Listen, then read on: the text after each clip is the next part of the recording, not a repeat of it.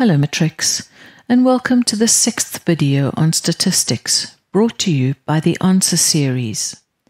In this video, we will look at the least squares regression line and the correlation coefficient. The correlation coefficient measures the strength of the relationship between two sets of numbers. A correlation coefficient of minus 1 is a perfect negative correlation. Zero means there's no linear correlation, and an R value of 1 means it is a perfect positive correlation.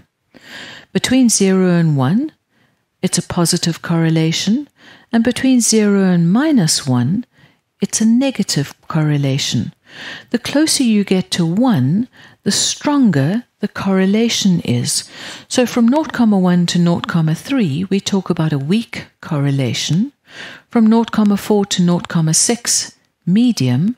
And from 0,7 to 0,9, strong. And exactly the same on the negative side. So when they ask you to comment on the correlation coefficient, you need to comment on the strength so weak, medium, or strong, as well as whether it is negative or positive.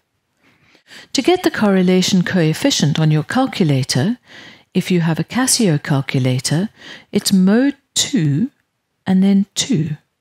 Enter the x and y values followed by equal signs each time and press AC to seal the data in.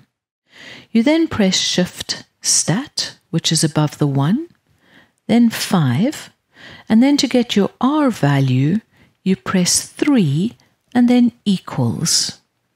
Example number 1. I want you to pause the video. I want you to try this yourself, and then we'll do it together. The first question asks you to represent the information in a scatter plot. So we need to plot the following coordinates. 9, 1100 is there. 14, 1300 is there, etc., etc. So plot all of those points on the scatter plot.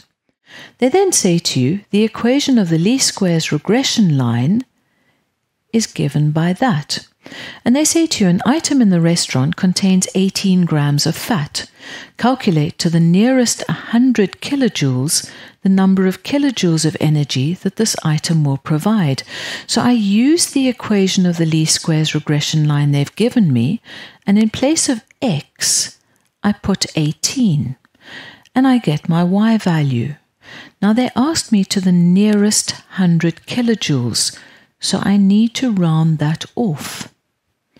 1.2.2 says draw the least squares regression line on the scatter plot. Now, the least squares regression line is a straight line. There's your y-intercept, so I can plot my y-intercept.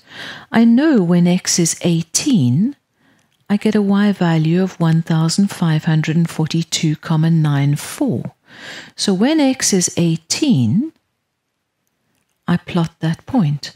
So I've got the y-intercept, I've got the point I've just worked out, so I can draw the equation of the line.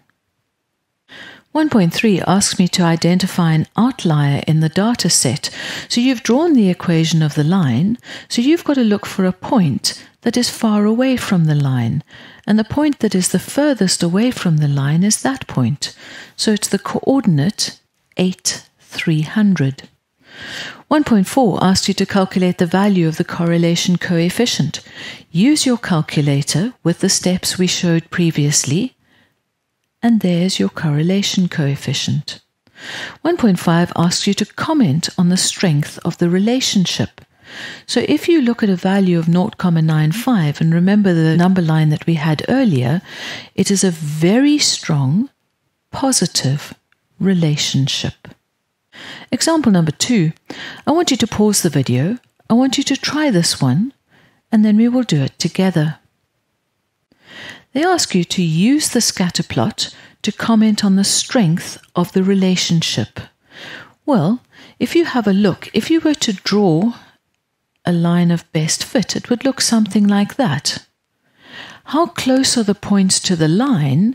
They're very close to the line, which means the relationship is very strong, negative, because the gradient of that line is a negative gradient. 2.2, they ask you to calculate the correlation coefficient. Use the data, enter it into your calculator, and you get an R value of minus 0.95. 2.3, they ask you to calculate the equation of the least squares regression line. Now, you've already got your data in the calculator from the correlation coefficient. So, get your value of A, get your value of B, and write it as in the form y equals A plus bx. 2.4 says use your answer to estimate the average number of times that a shopper living 6 kilometers from the supermarket will visit the store in a week. So I use the equation I've worked out, and in place of x, I put 6, and I get a y value of 4,99. In other words, they will visit the supermarket five times in the week. 2.5 asks you to sketch the least squares regression line. My y-intercept is 11,71.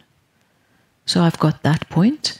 I know when x is 6, y is 5. So when x is 6, y is 5, I've got that point and I've got the y-intercept. So there's the equation of my least squares regression line. You should now understand these concepts Thank you for watching this video. Check out the video description below for practice questions from our study guides. If you found this video useful, give it a like and subscribe to our channel so you don't miss any new episodes. Follow us on Instagram or Facebook to stay on top of the latest TAS news and launches. So that's it for now from the Answer Series, your key to exam success.